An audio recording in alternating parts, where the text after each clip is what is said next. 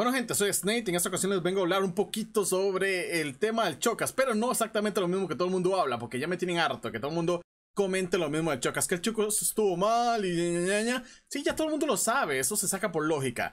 Pero les vengo a comentar algo más interesante, y es de esos seguidores que el Chocas tenía y que ahora se muestran desilusionados, no esperaba eso del Chocas, no me imaginé que él fuera así, y un montón de cosas. Hay un montón de gente que no lo seguía y ahora lo sigue para criticarlo y demás. Eso es interesante, ya que mucha gente de la que lo sigue y sigue a la mayoría de los streamers grandes buscan la mentira, buscan el engaño, buscan la falsedad, buscan no la realidad, sino una ilusión de esa realidad. O sea, una expectativa, ¿me entiendes? Lo mismo que entregan los animes, los mangas. Ustedes han visto que en los animes y en los mangas, todas las mujeres son bonitas, delgadas, pechos grandes, buen trasero. Ninguna es gorda, fea, ni nada de eso, porque nadie quiere eso. Nadie quiere la realidad. Todo el mundo quiere la expectativa, ¿me entienden? Lo mismo buscan los streamers de una forma un poco distinta, pero eso es lo que buscan. Y eso es lo que compran. Y eso es lo que los streamers venden porque saben que es lo que los que están ahí están buscando.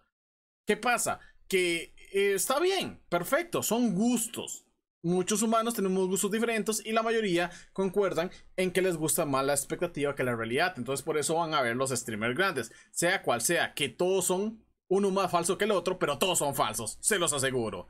Ahora, ¿qué pasa?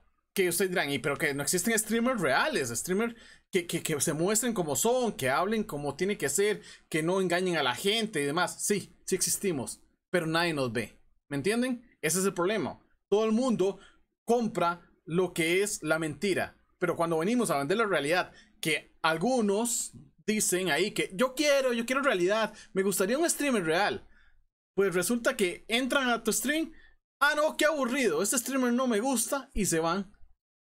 Entonces no te gusta la realidad, lo que te gusta es que te mientan y a esa mentira llamarle tu realidad. Eso es lo que te gusta. Ok, y insisto, no critico eso. Lo que pasa es que luego de que eh, tienes esa actitud de prefiero comprar una mentira que una verdad al desnudo, pues simplemente no vengas llorando porque tu streamer, bueno, metió las patas y ahora todo el mundo sabe la verdad sobre ese streamer. Entonces, eh, si van a comprar una mentira, una expectativa, en lugar de comprar una realidad, eh, esperen cualquier cosa de ese streamer. No se vayan a sorprender y no lo vayan a criticar, ya que eso es lo que ustedes están siguiendo.